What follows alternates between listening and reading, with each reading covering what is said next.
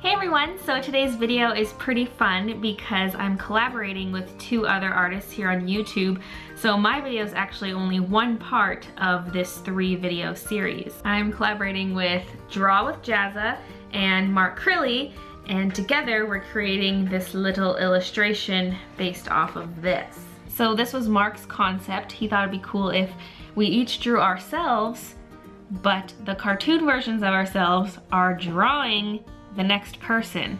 So it's like this little optical illusion where the drawings are drawing the next drawing. I thought it was really cool. So that is what this collab is based off of. And I'm actually part two in this series. So Mark did his section first, so I'll link to that in the video description. Then mine comes second, and then after that comes Jazza's. His will also be linked. So be sure to watch all three so you can see the entire piece get made. So yeah, I think it's a pretty fun idea, and let's get right into it. So starting off, I'm using my light box to trace over top of Mark's original because I didn't want to do my sketch directly on his piece of paper in case I screwed something up.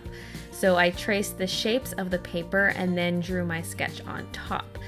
And I was figuring out how exactly I wanted the character to look in the corner, mostly for the eye style. I didn't know how cartoony I wanted to go with it, so I was testing out a few different ideas on the bottom of the page before I committed to actually drawing something. And then I just doodled it out on this paper and traced it back onto the original and inked it on there. So let me talk a little bit about Mark and Jazza. If you don't know who they are, you're truly missing out. They're a big part of the artist community here on YouTube.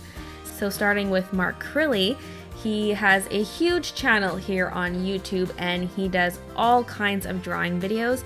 Most of his videos are instructional, so if you're into tutorials on how to draw stuff, that's your go-to place. There are so, so many tutorials. I know you guys ask me for so many, but he has so many there on his channel and they're all amazing. He has a ton of experience in the illustration industry, so there's a lot you can learn from him, and his videos are super interesting. You must check them out. He has a lot of published works too, like graphic novels, how to draw books, and other illustrated works, just a ton. So I highly recommend you go to his channel and subscribe. As you can see, one of my little helpers is coming to visit me. That's why I had to include my cats in the doodle because I can't draw anything without them coming to visit me, so it would just feel wrong if I didn't include them in this drawing. Now about Jazza's channel, Draw with Jazza, if you're not subscribed to him yet, well, this is your second warning because we just did a collab not too long ago. It was within the last couple months. We each drew a picture and then swapped line art and colored in each other's drawings.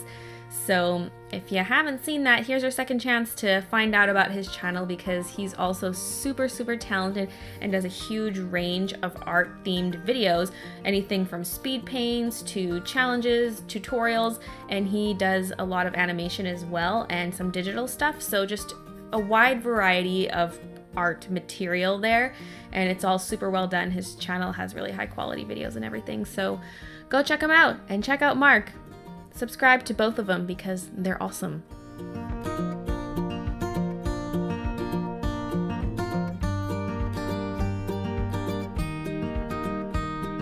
So now I'm getting on to the inking. I'm using my Copic multiliner and if you're new to my channel, I do mostly Copic marker artwork.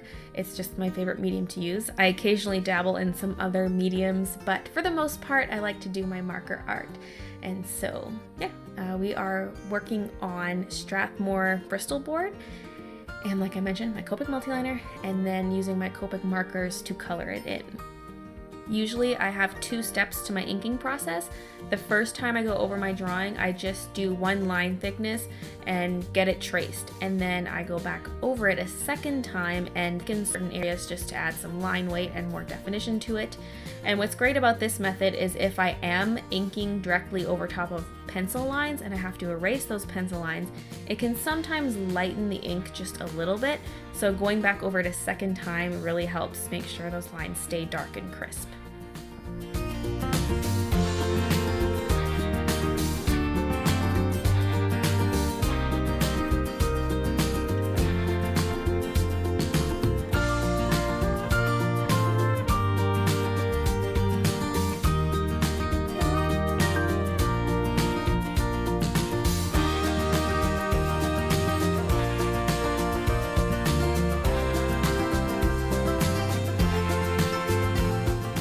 Here on my channel, I do a lot of speed paints just to get you inspired and get those creative juices flowing. And I'll do the occasional tutorial and also some challenge videos, anything art related really, anything from a tour of my workstation to supplies I use. Basically anything artsy is fair game here on my channel. I also have a daily vlog channel where I vlog about my life and you see a lot of behind the scenes stuff of art I'm working on or just my day-to-day -day activities and I also have a toy channel where I unbox toys. And I do live streams on Twitch. Every Tuesday I do an art live stream and every Friday I do a video game live stream.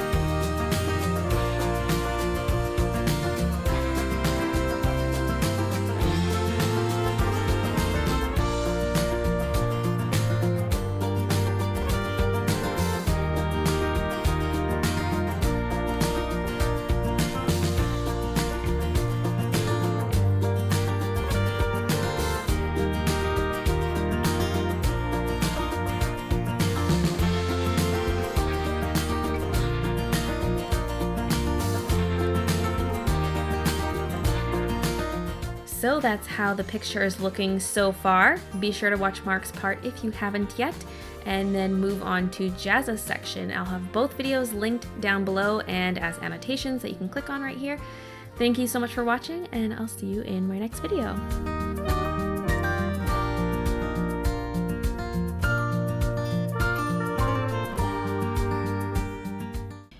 Okay, video is uploading. Check that off the list. And I responded to another email that I was going to respond to later, but I was like, let's do it now. Got that done. Control at a nice, constant pace.